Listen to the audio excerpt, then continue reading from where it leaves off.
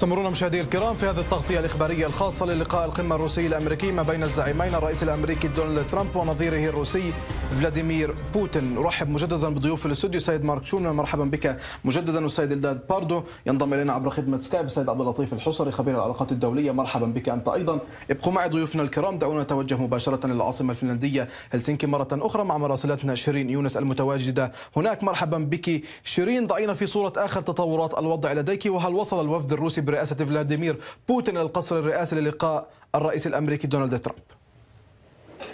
نعم مهند يعني لا نزال بانتظار هذا الوصول. ربما خلال الدقائق القليلة المقبلة سيصل الرئيس الروسي فهو بالفعل غادر المطار قبل دقائق معدودة وسيصل في غضون الدقائق القريبة إلى القصر الرئاسي. ستكون هناك مراسم استقبال إلى حد ما مقلصة أو صغيرة ومن ثم يبدأ اللقاء المشترك بين الرئيسين الروسي والأمريكي. نحن نتحدث عن تأخير ربما أيضا في المؤتمر الصحفي بسبب تأخير وصول تأخر وصول الرئيس الروسي عن الموعد الذي كان محددا وتأخر طبعا البدء بكل المراسم بكل الأحوال اللقاء خصصت له ساعة ونصف الساعة وقد يمتد لمدة أطول. ومن ثم سيكون هناك يعني مؤتمر صحفي مقلص يعني نعول عليه في الحصول على بعض المعلومات. هناك تعتيم كامل في الجانب الأمريكي والجانب الروسي على ما سيدور. هناك ملفات طبعا يعني مطروحة سيناقش فيها خلال هذا الاجتماع لكن التفاصيل والمواقف الأساسية ليست معلنة حتى الآن. الجانب الأمريكي يضع الكرة في الملعب الروسي والعكس صحيح الروس يقولون أن الأمر يتعلق بسياسة الولايات المتحدة في مختلف الملفات. على كل مهند دعني أرحب نعم. بضيفتي هنا الإعلامية منى دويبية. أهلا بك منى. أولا كيف يعني تتوقعين أن ينتهي هذا اللقاء؟ هل هو قمة أم مجرد اجتماع ثنائي. هو قمة بكل المقاييس لأن هذه القمة كانت يعني أريد لها أن أن تقع منذ فترة طويلة ولكن للأسف لم يتسنى للطرفين إلى عقدها. الآن ربما الاجتماع في حد ذاته أو هذه القمة هو نجاح بحد ذاته لأنه استطاع أن يجمع طرفي النزاع مع بعض وربما الملفات التي ستطرح كما كنت أشرتي يمكن أن نذكر منها الملف السوري التواجد الإيراني في الجنوب السوري ولو أنه كان هناك وفد إيراني كان قد وصل إلى روسيا منذ منذ فترة قصيرة. بالضبط. قبل انعقاد هذه القمة في إشارة إلى أن إيران موجودة وفي إشارة إلى طبعا إلى تثمين هذه العلاقات الإيرانية الروسية والتي لا نتوقع أبدا أن يحصل فيها تنازلات لأن الرئيس الروسي ليس على استعداد ل يعني تقويض هذه العلاقة مع إيران فقط لمجرد أن التقى مع الرئيس الأمريكي. طبعا هناك لابد أن تكون نعم مفاوضات فقط دعيني أنوه بأن موكب الرئيس الروسي من المتوقع أن يصل خلال الثواني المعدودة إلى القصر الرئاسي كما نرى هو يعني قريب جدا من القصر. تحدثت عن الملف السوري بشقه الإيراني وهناك ملفات أيضا أخرى. هناك من يقول أن الملف السوري قد يكون القضية ربما الأكثر توافقية إلى حد ما. في قضية الشمال السوري قد يتم هناك اتفاق على حل حالة معينة. هل توافقين هؤلاء الرأي؟ الولايات المتحدة لا تريد بقاء قواتها في الشمال السوري وهذا تدل عليه كل الاتصالات والاتفاقات التي حصلت مع الأكراد فيما سبق.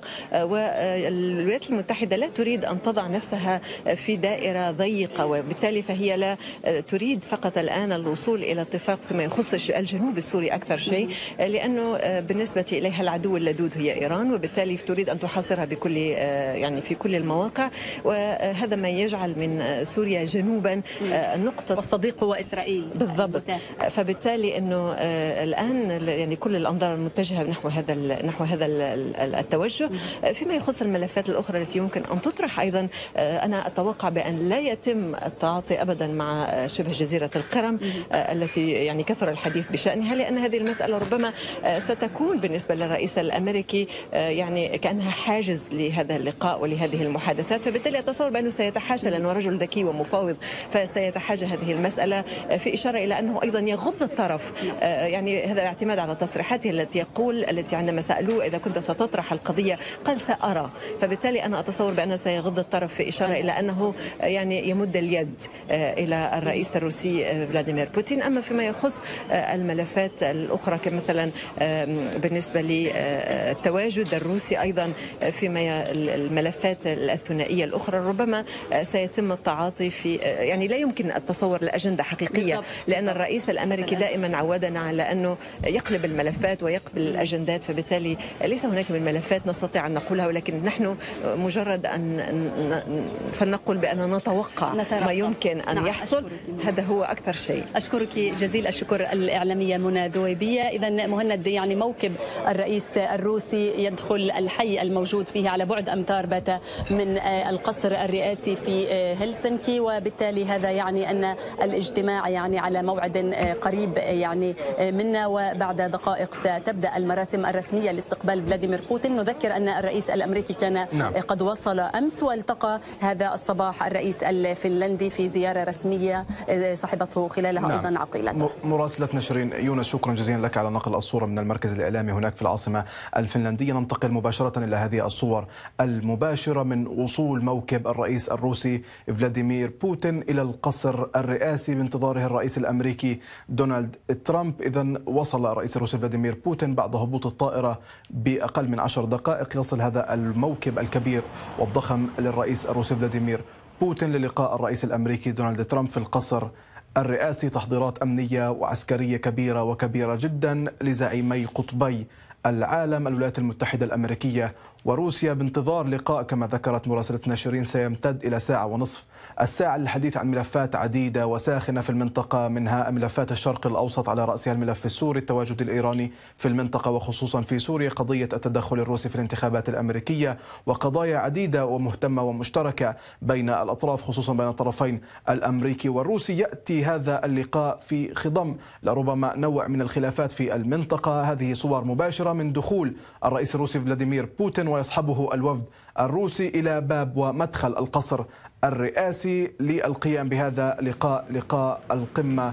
المرتقب بانتظار أكيد مخرجات هذا اللقاء جميع الأنظار العالمية الإيرانية ربما الروسية والأمريكية وأيضا الأوروبية تنتظر وتنظر إلى مخرجات لقاء روسي أمريكي مهم يأتي في خضم الحديث عن أزمة سورية تصل لربما ملامحها إلى النهاية مرحلة سياسية مستقبلية أيضا في الشرق الأوسط خصوصا في إطار الحديث عن صفقة القرن الأمريكية من المتوقع أن يكون هناك وكما ذكرت شيرين مؤتمر صحفي للأطراف المشاركة للرئيس الروسي فلاديمير بوتين وأيضا للرئيس الأمريكي دونالد ترامب هنا وزير الخارجية الروسي أيضا يصل سيرجي لافروف في هذا اللقاء الوفد الروسي وصل بشكل نهائي إلى مقر الرئاسة في هلسنكي لمتابعة كل هذه التطورات. دعونا نتوجه مباشرة إلى السيد عبد اللطيف الحصري. مرحبا بك مجددا سيد عبد اللطيف. ما مدى تأثير هذا اللقاء على العالم بشكل عام على منطقة الشرق الأوسط بشكل خاص خصوصا ونحن نتحدث عن أن الولايات المتحدة الأمريكية وروسيا طرفي نزاع نقيضين لربما في عديد من القضايا خصوصا في الميدان السوري في السنوات الأخيرة أيضا. الواقع راح تطرح عديد من القضايا ولكن أهمها سيكون بالطبع إيران والملف السوري. آه، صفقة القرن لا أتوقع أنه هي آه، محور النقاش ولكن هناك محاور ولكنها أحد محاور النقاش. هناك محاور أخرى أكيد القرم أكيد الانفصاليين في في شرق أوكرانيا أكيد ملفات دولية أخرى التدخل الروسي في الانتخابات الأمريكية. وتخفيض التمثيل الدبلوماسي في البلدين ولكن الملف الأجدر والأهم في تصوري راح يكون هو سوريا والتواجد الإيراني في سوريا ولكن يجب أن ننتبه جيدا أن الحديث آه، تبدل لا يدور الحديث عن آه، إخراج إيران من نعم. سوريا بدأ الحديث اليوم عن احتواء إيران في سوريا. يعني آه، خروج أمريكي آه، تام من سوريا مقابل احتواء الوجود الإيراني في في سوريا. ولكن في الأساس في تصوري هناك اعتراف غربي أمريكي بأن العالم بات من قطبين وهناك اعتراف نعم. في عدم إمكانية الغرب بعزل آه، روسيا. بوتين يأتي مرتاحا جدا إلى هذا اللقاء بينما ترامب يأتي مع كيس مشاكل على ظهره يعني. ترامب بارع جدا في ابتزاز حلفائه ولكنه فاشل جدا في فرض أجندة على خصومه. نعم سيد مارك فيما يتعلق آه، بنقطة أخرى فيما يتعلق بالرئيس الأمريكي آه، دونالد آه، ترامب في هذه القضية. هناك من يقول بأن القضية الأكثر توافقية والأكثر تفاهما ما بين الجانبين هي قضية سوريا خصوصا بعد تصريحات أمريكية كثيرة قبل عدة أشهر أعلنت نية الرئيس الأمريكي دونالد ترامب وحتى وزير الخارجية بخروج قوات أمريكية من الميدان السوري مقابل عدد من التفاهمات. بالفعل ربما هي القضية الأكثر توافقية بين الطرف الروسي والأمريكي. هناك نقاش داخل الإدارة الأمريكية حول هذا الملف. ترامب صرح منذ زمن أنه يريد إخراج قواته من سوريا. هو صرح بذلك وفي كل مرة كان يصرح بذلك كان يأتي وزير الأمن ماتيس ويصحح هذه التصريحات. لذلك هذا الموضوع من غير غير واضح. ربما قد تكون هناك تفاهمات حول الوضع في سوريا. في نهاية المطاف سيخرج ترامب قواته من سوريا. لا توجد لديه أي مصلحة إبقاء القوات الأمريكية في سوريا. هناك آه، إسرائيل من تضغط عليه لإبقاء الحضور الأمريكي في آه، سوريا وأن يكون هذا الحضور جزء من مفاوضات حول الحل النهائي في سوريا. ربما تكون تفاهمات حول سوريا ولكن آه، ماذا سيحصل الجانب الأمريكي من الطرف الروسي بالمقابل ولا يوجد أي شيء أراه أن روسيا يمكن أن تمنحه للولايات المتحدة. هذا استمرار للانسحاب الأمريكي من الشرق الأوسط هذا الانسحاب الذي بدأ في عهد أوباما وترامب سيشدد بهذا الاتجاه سيسير بهذا الاتجاه. نعم سيد إلداد بالفعل وكما قالوا ضيوفنا بالاستوديو إن كانت هناك تفاهمات فيما يتعلق بالجانب الأمريكي آه، والروسي ولكن ليس بالسهل على الجانب الروسي بعد لقائه بترامب أن يقوم بالتنازل عن الحليف الأبرز لعدة سنوات طويلة كان في الميدان السوري وهو إيران.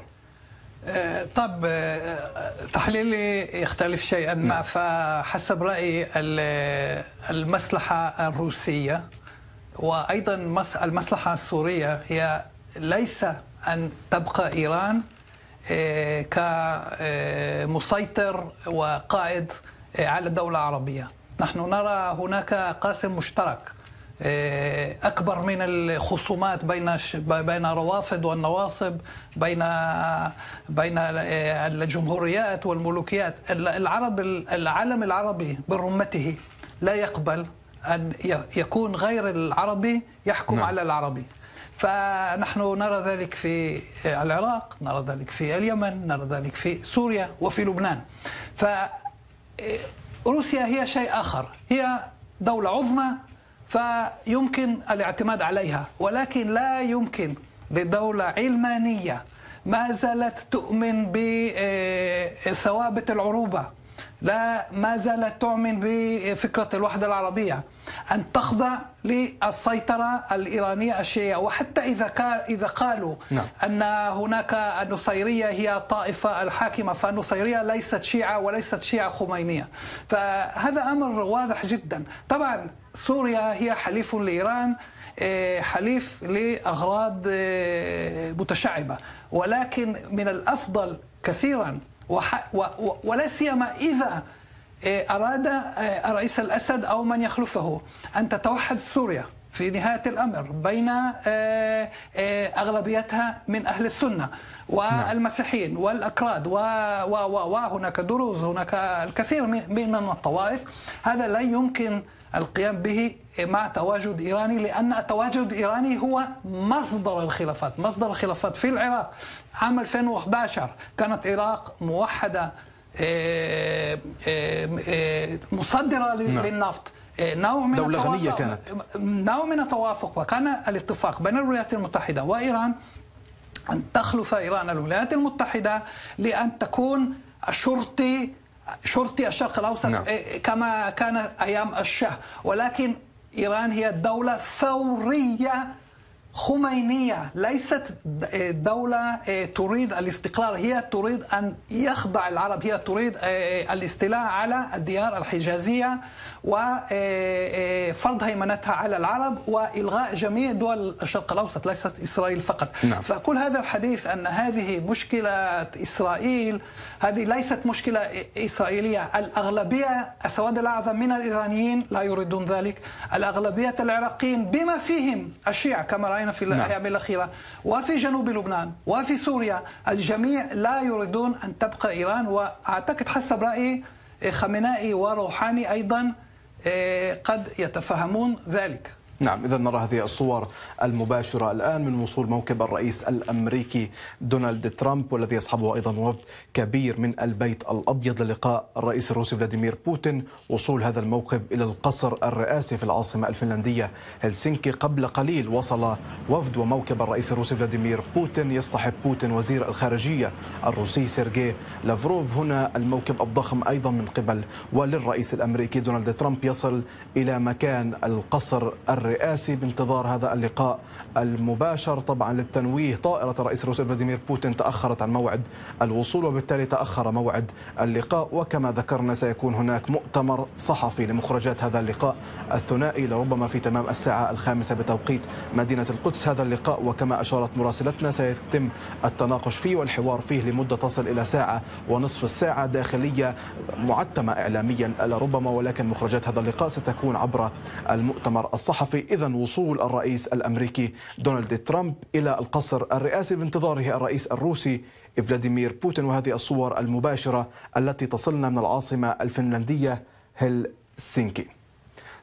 دعونا نتوجه ونعود إلى السيد عبد اللطيف الحصري. سيد حصري فيما يتعلق بدول الاتحاد الأوروبي هناك نوع من القلق الأوروبي من مخرجات هذا اللقاء على عدة أصعدة. أيضا يأتي هذا اللقاء قبيل زيارة مهمة كانت للرئيس الأمريكي دونالد ترامب في أوروبا انتهت ببريطانيا. تعطيني دقيقة في البداية آه، أعقب على أقوال ضيفك آه، من تل أبيب. آه، بداية الصراع في سوريا ليس صراعا سنيا شيعيا أو ما وصفه النصيريه والروافض وإلى آخره، أعتقد إنه هو هذا الضيف عبر عن أحلام يقظة وهواجس اسرائيليه صهيونية ليس إلا. هناك حلف استراتيجي. بين إيران وسوريا ومحور المقاومة في مواجهة المشروع الصهيوني. وهواجس آه، تل أبيب آه، تسمع في خلفية آه، كلام ترامب. وليس صدفة أن كان نتنياهو قبل أيام في موسكو ويهاتف ترامب اليوم صباحا من أجل الضغط على الطرفين لاحتواء الوجود الإيراني في سوريا. والحديث يبدو اليوم عن احتواء وليس إخراج إيران من آه، من من سوريا. بالعودة إلى آه، لندن نعم. في اعتقادي ترامب أهان آه، الأوروبيين. أهان الأوروبيين مرتين. مرة في اجتماع الناتو وحيث فرض عليهم نسبه في تمويل التسليح. اذا ما يهم ترامب من أوروبا هو ابتزاز أوروبا وتدفيعهم الثمن مقابل الحماية وترامب لا يخجل بذلك يعني. وحتى دعم ترامب لمرشح آه، اليمين في في إيطاليا هو آه، يهدف إلى خلق زعزعة وخلخلة داخل الاتحاد الأوروبي. والاتحاد الأوروبي يعلم أن حركات ترامب تهدف إلى تفكيك الاتحاد الأوروبي. نعم. وهو يؤيد وجهة نظر تريزا ماي. والتحالف بينه وبين تريزا ماي هو عمليا دق إسفين بين آه، آه، كل أوروبا وبريطانيا آه، نعم لديك التعقيب ولكن... سيد لحظة سيد حصري لديك التعقيب سيد قبل الانتقال للسيد تحدث السيد حصري علينا أن نذكر ساتع الحصري فهو أساس العقلية السورية. معناها استقلال العرب. ولا وأنهم لن يخضعوا إيه، لهيمنة إيه، إمبراطورية فارسية خمينية إسلامية متطرفة تعيش في الأحلام للسيطره على العالم وفرض هيمنتها على الديار الحجازية المقدسة. اليوم سوريا ليست بحاجة إلى إيران. طبعا علاقات هو يتحدث عن احتواء. احتواء معناه علاقات طبيعية مع إيران طبعا كغيرها من الدول. ولكن الحليف الأساسي لسوريا كما يريدونه السوريون الموالون للرئيس بشار الأسد نعم. هو الاعتماد على روسيا وليس على آخر. نعم. سيد مارك فيما يتعلق بالاتحاد الأوروبي بالفعل كانت هناك زيارة مهمة لأربعة أيام تواصلت للرئيس الأمريكي دونالد ترامب. هناك نوع من الخلاف ونوع من التوافق لربما حتى شهدنا اتهامات ما بين الأطراف الأوروبية والولايات المتحدة الأمريكية خصوصا بعد انسحاب واشنطن من الاتفاق النووي. كان هناك تصريح أيضا للرئيس الأمريكي قبيل هذه القمة بأن الأوروبيون وأيضا الصين أعداء.